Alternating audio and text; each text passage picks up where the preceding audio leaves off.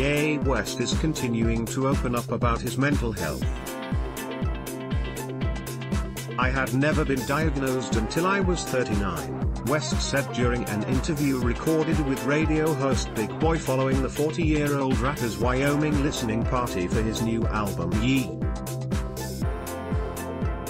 After clarifying that he was diagnosed with a mental condition, West added, but like I said on the album, it's not a disability, it's a superpower. Although the musician declined to specify what he had been diagnosed with during the interview, West had already confirmed on his new album that he is bipolar, calling it his superpower.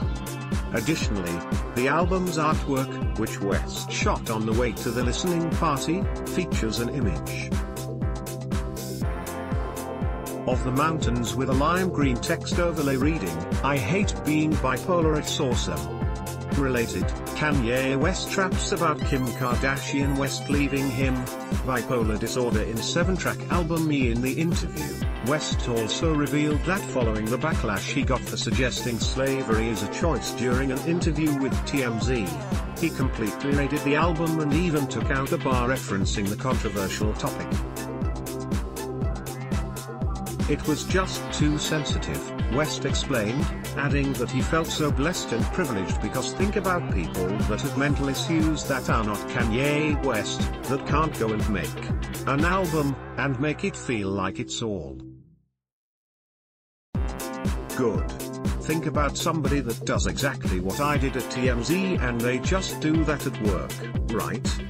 But then Tuesday morning, they come in and they lost their job and they can't go back and make that. That's why God put that on me at age 40, he continued. However, while the rapper may have edited out a reference to the hot button topic, he did reveal how his wife Kim Kardashian West reacted after the interview was published on track Wouldn't Leave. I said, slavery a choice. They say, how? Ye? Just imagine if they caught me on a wild day. Now I'm on 50 blogs getting 50 calls, wife calling screaming saying we're about to lose it all. I had to calm her down cause she couldn't breathe. I told her she could leave me now but she wouldn't leave, he rapped. This is what they mean for better or for worse, huh? Related, North West sings sweet rendition of new Kanye West song in adorable video, I Still Love You while many fans have supported West's new album, it currently holds the no. One spot on the US iTunes charts, the rapper took some time out of his day on Saturday to give a shout out to one of his youngest listeners, his daughter North West.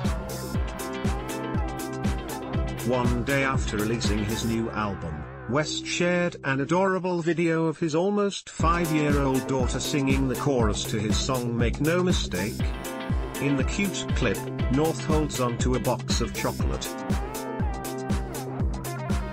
milk in the backseat of a car while looking directly at the camera and singing, Make no mistake, I still love you.